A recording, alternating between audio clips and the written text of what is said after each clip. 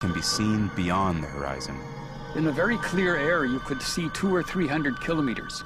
In fact, um, there have been documented cases where someone has seen a distance of 500 kilometers and actually recognized the object they were looking at. But because the light rays are bent, the image is distorted. I believe in very early times, the mirage would have been interpreted as being some kind of magical display on the horizon.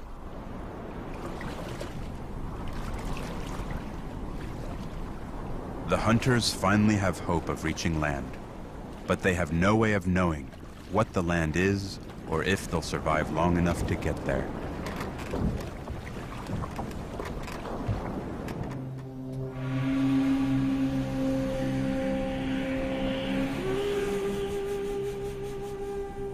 Exhausted, the group drifts for days. Malnutrition begins to take its toll.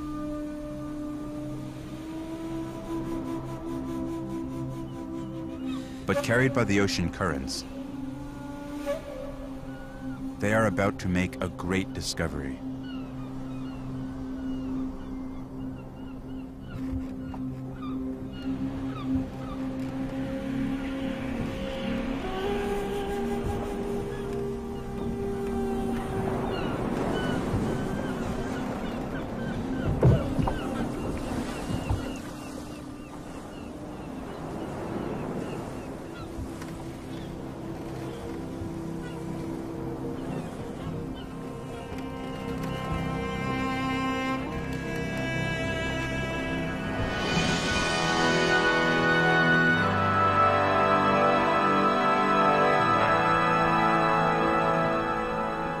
Finally, after months surviving on the frozen ocean, the hunters have arrived in the New World.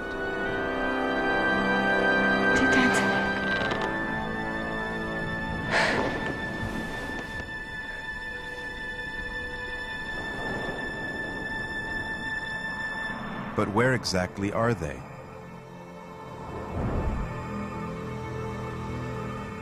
These are the Grand Banks. 17,000 years ago, this was the easternmost tip of North America. Today, these islands are submerged because when the Ice Age ended, billions of gallons of ice in the polar caps melted. Sea levels rose almost 500 feet. The entire coastline of North America was pushed back 100 miles.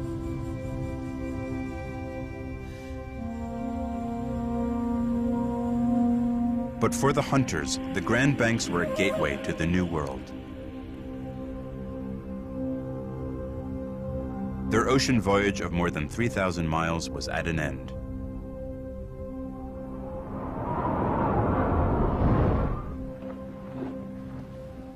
But their discovery of the New World had just begun.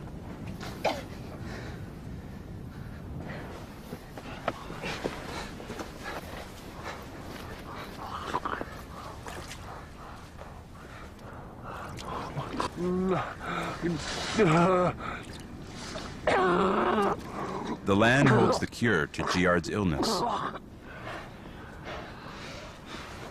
This is scurvy grass.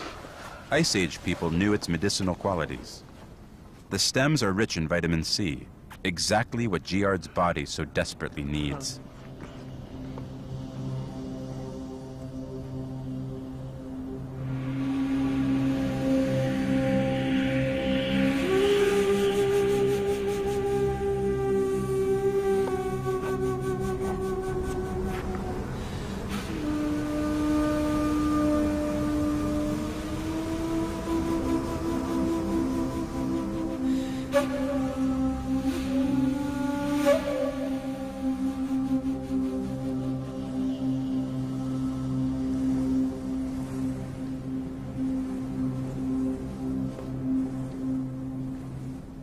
The young hunters are recovering from their odyssey at sea, scavenging what food they can find in the barren landscape.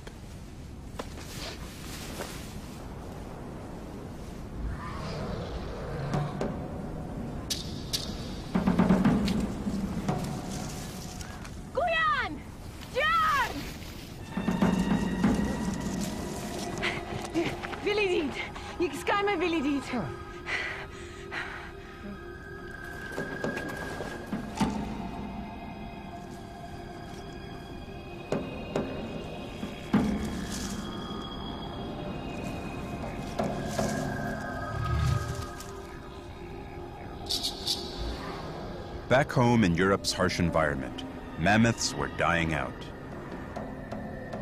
But in North America, the mammoth thrived, feeding off extensive grasslands.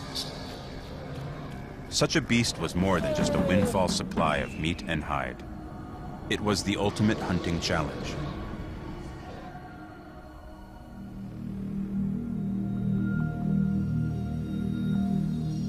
The mammoth was sacred to the Ice Age clans.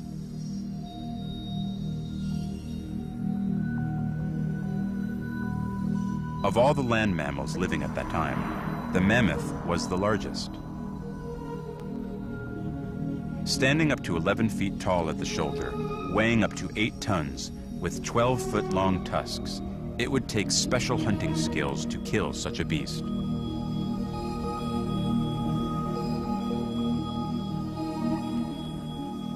You just hit a mammoth with everything you have, and you don't kill it, you wound it and you follow it for days until it finally dies and then you dispatch it. The young hunters are eager to try and kill a mammoth, but they have a serious problem. Their seal harpoons are useless against such a large animal. They need spears with razor sharp points, but they don't have the right stone to make them.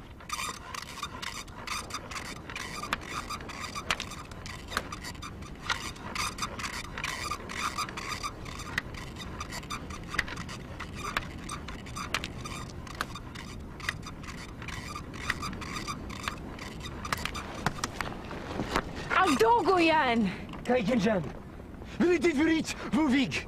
Hivi, sarang skami ang gargat. Igen gini. Tenga. Dozud. Slabut.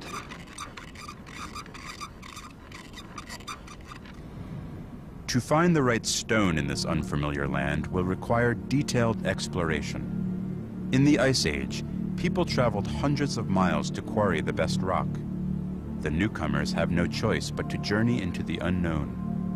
But are they up to it?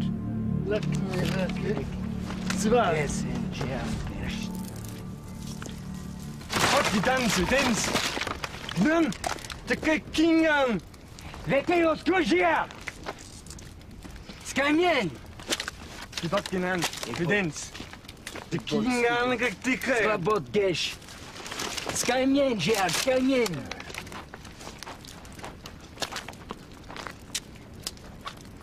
Lekker boerendag!